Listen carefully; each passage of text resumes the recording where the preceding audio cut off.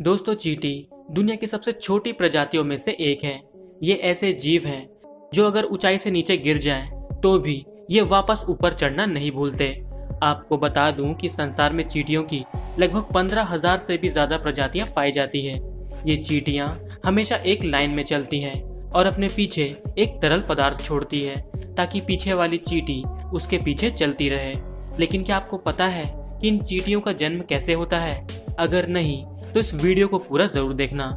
लेकिन आगे बढ़ने से पहले आपको बता दूँ कि इससे पहले हमने बहुत से जानवरों की जीवन चक्र की वीडियो बनाई हुई है, जिस पर आप सभी का बहुत प्यार मिला। और अगर आपने उन वीडियोस को नहीं देखा है तो डिस्क्रिप्शन में उसका लिंक मिल जाएगा। तो चलिए वीडियो शुरू करते हैं।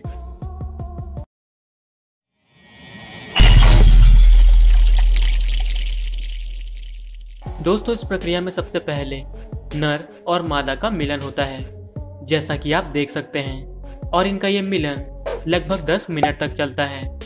और जैसे इनके मिलन की प्रक्रिया समाप्त हो जाती है, उसके कुछ दिनों बाद ही मादा चीटी अंडे देने की अवस्था में आ जाती है, जिसके लिए इसे एक कॉलोनी की ज़रूरत होती है।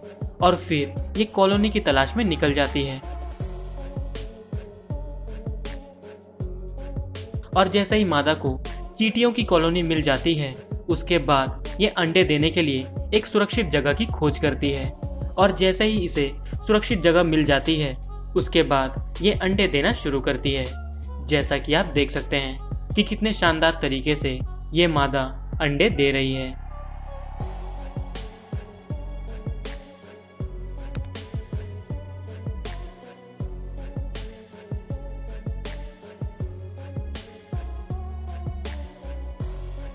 अगर बात करें इनके अंडों की तो ये छोटे, पारदर्शी, सफ़ेद और चिपचिपे होते हैं। और ये साइज़ में एक एम mm तक होते हैं। आपको जानकर हैरानी होगी कि ये चीटियाँ लगभग एक लाख से तीन लाख तक अंडे दे सकती हैं। और जैसे ये सारे अंडे दे देती है, उसके बाद इन अंडों की देखभाल श्रमिक चीटियाँ करती है। जी हाँ दोस्तों, जैसा कि हम सब जानते हैं कि चीटियों की एक कॉलोनी में सैकड़ों की तादाद में चीटियाँ होती है। और यही चीटियाँ इन अंडों की देखभाल करती हैं। तो जैसे ही ये अंडे एक से दो हफ्तों के हो जाते हैं, उसके बाद ये लार्वा में बदलना शुरू होते हैं। जैसा कि आप देख सकते हैं, ये लार्वा सफ़ेद और पारदर्शी होते हैं, लेकिन इनके पास आँख और पैर नहीं होते। तो जैसे ही ये अंडे लार्वा में बदल जाते हैं, उसके बाद ये वर्कर्स चीटियाँ इन्हें भोजन खिलाती हैं। जैसा कि आप देख सकते हैं कि किस तरह ये चीटियाँ अपने लार्वा को भोजन खिला रही है। दोस्तों शायद ही आपने इससे पहले चीटियों का ऐसा कोई नज़ारा देखा होगा। आपको बता दूँ कि ये भोजन, ठोस या तरल पदार्थ किसी भी प्रकार के हो सकते हैं और ये लगभग दो हफ्तों तक अपने लार्वा वाले जीवन पर ही बने रहते हैं। और जैसे ही इनके लार्वा वाले जीवन का समय पूरा हो जाता है, उसके बाद ये प्यूपा बनाना शुरू करते हैं, जिसके लिए ये अपने शरीर से चिपचिपा पदार्थ निकालते हैं, जो हवा के संपर्क में आते ही ठोस हो जाता है, जिसे कोकुन भी कहा जाता है। ये कोकून सफ़ेद या भूरे रंग के हो सकते हैं। और फिर एक हफ़्ता बीत जाने के बाद इस कोकून के अंदर एक वयस्क चीटी का विकास शुरू हो जाता है। और इस समय इसके शरीर के विभिन्न भाग जैसे आँख, पंख, एंटीना और पैरों का विकास भी शुरू हो जाता है।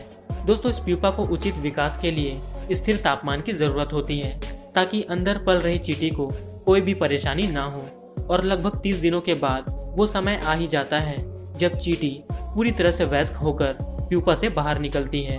जैसा कि आप देख सकते हैं कि कैसे ये वर्कस चीटियाँ प्यूपा को काट कर अंदर पूर्ण रूप से विकसित चीटी को बाहर निकालती है।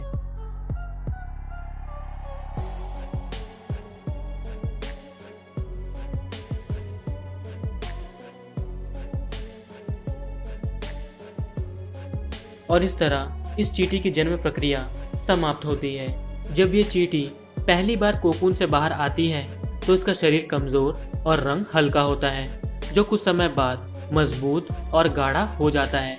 साथ ही इनके पास दो आँखें भी होती है, लेकिन हम सब जानते हैं कि चीटियाँ देख नहीं सकती, बल्कि वो अपने सिर पर मौजूद एंटीनास की मदद से अपने संचार के सारे काम कर लेती है। साथ ही इन चीटियों के पास छह पैर होते हैं, जो पूरी तरह से विकसित हो चुके होते हैं। और एक चीज़ जो इन्हें सबसे घातक बनाती है, और वो है इनके शक्तिशाली जबड़े, जो किसी को भी चोट पहुँचाने के लिए काफ़ी है।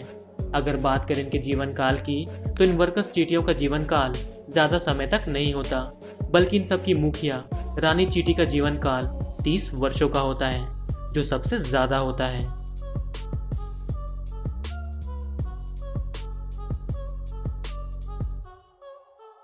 तो दोस्तों, उम्मीद करता हूँ कि आपको ये वीडियो पसंद आई होगी। अगर आपको वीडियो अच्छी लगी तो उस वीडियो को लाइक, शेयर और चैनल को सब्सक्राइब कर दीजिए। और इसी तरह की वीडियो देखने के लिए स्क्रीन पर आ रही वीडियोस या फिर डिस्क्रिप्शन में दिए गए लिंक को चेक कीजिए। मिलते हैं अगली वीडियो में। तब तक के लिए बाय।